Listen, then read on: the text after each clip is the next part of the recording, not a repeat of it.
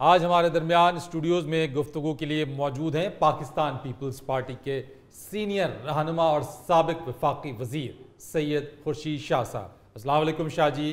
वालेकुम अस्सलाम क्या हाल है आपका? आप सुनाइए कैसे हैं? मैं भी ठीक हूँ बाबा।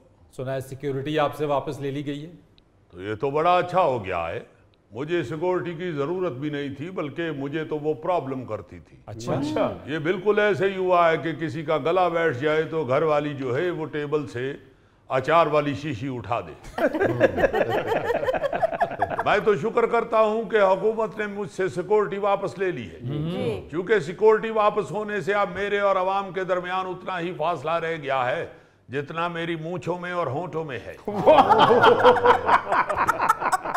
अब मैं अवाम के दुख दर्द को समझ सकता हूँ। जी जी शाह जी आवाम आपके इतना करीब उसी वक्त होती है जब आपके पास हुकूमत नहीं होती वजारत नहीं होती।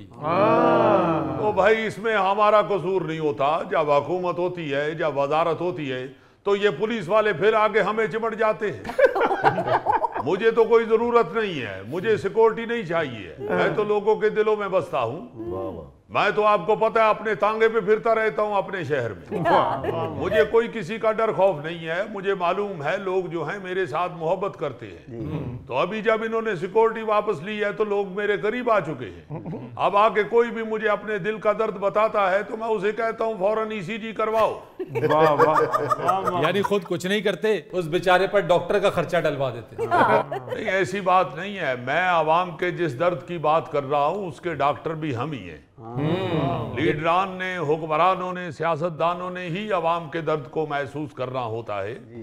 तो वो ईसीजी का मतलब यही होता है कि तफसील बताओ अपनी क्या बात है क्या प्रॉब्लम है? क्या तुम्हारा दुख दर्द है? उसका फिर बदावा होता है। अच्छा। सही कह रहे हैं आप। आपने ये कहा है वैसे कि मीशत को बेहतर होना चाहिए और आपके पास आपसे मुराद आपकी पार्टी के पास ऐसा सिस्टम मौजूद है जिससे आप एक साल में महँगाई कम कर सकते हैं। इनशाला इंशाल्लाह ताला इंशाल्लाह ताला आप देखिएगा। हमारी हुकूमत आएगी तो इंशाल्लाह हम महँगाई को फौरी तौर पर ख़त्म करेंगे। शाह जी पहले भी आपकी हुकूमत रही है पहले आपने महँगाई का खात्मा क्यों नहीं किया? बेटा ये तो बिल्कुल ऐसे ही है कि आप कहें कि लियाकत अली खान मोबाइल फ़ोन क्यों नहीं इस्तेमाल करते थे? या अकबर बादशाह हेलीकॉप्टर पे क्यों नहीं फिरते थे? या आप ये सोचें कि इलामा इकबाल ने अपना कलाम सोशल मीडिया पे क्यों नहीं डाला था? भाई हमारे पास पहले महँगाई को नीचे लाने का प्लान ही मौजूद नहीं था। अब हमने प्लान बना लिया है।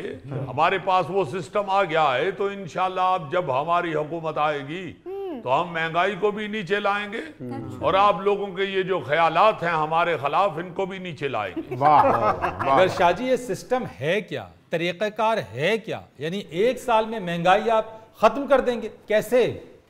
यानी आपको इधर मीडिया के ऊपर बैठ के बता दूँ, सारी पार्टियों पे पर्चा आउट हो जाए।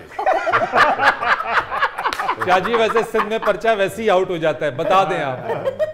वो दूसरे पर्चे आउट होते हैं ये बड़ा अहम पर्चा है। जी हाँ। ये हमारे पास प्लेन मौजूद है पहले आप लोग हमें वोट दें और इंशाल्लाह वोट देगी आवाम हमें। आवाम को मालूम है कि आवाम के दुख दर्द का सिर्फ़ पीपल्स पार्टी वालों को ही एहसास है।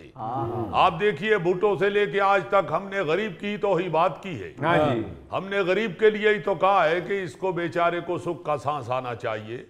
महँगाई कम होनी चाहिए गरीब की आमदन ज़्यादा होनी चाहिए। इसीलिए तो लोग आज तक भुट्टो को नहीं भूले। जी हाँ। भुट्टो ये देखिए ये दिल से नारा निकलता है ये को पागल नहीं है।